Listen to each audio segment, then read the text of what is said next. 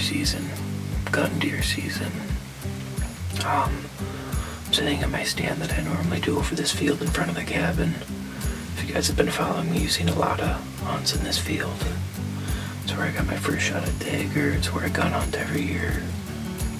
Um, it's just a great spot. I already had one doe come out. I watched her kind of feed around in the field and then head off. Quite a few shots this morning already, including one shot from the neighbors right back here behind me.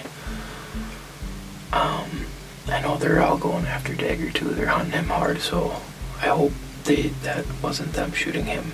I mean, if it was, I'd be happy for him. Kinda. But I'm after Dagger. That's the deer I want. There is one other new buck that showed up on trail cameras. That's a really nice deer. He looks just like Dagger, just a little bit smaller. But I'm a, a beautiful deer for sure. So, just me, my dad, and my two brother brothers, Chris and Sam, this year. Deer camp's a little bit smaller because of all this coronavirus and stuff, so I'm excited. It's a beautiful morning. It's nice and still. I think it should be a good day. I think someone in our camp is going to get a shot at a nice buck.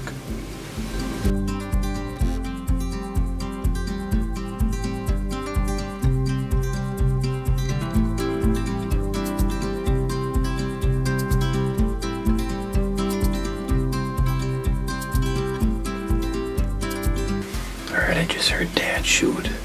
It's only 8.30, so I don't think he'd be shooting doe this early.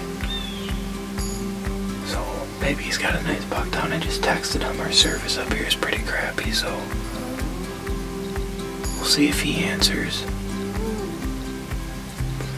But it's been pretty. I mean, I've seen four deer so far, three doe, and that uh, little buck, little six pointer, eight pointer, whatever it was. But uh,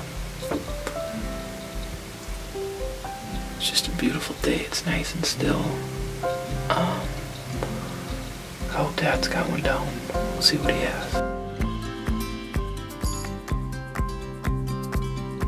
Alright, so I finally just got a text from Chris about that shot I heard earlier this morning. He said he shot at a huge buck. He says he thinks it might have been Dagger. Um, he thinks he missed though. He went and checked for blood real, real quick and didn't see anything, so we're gonna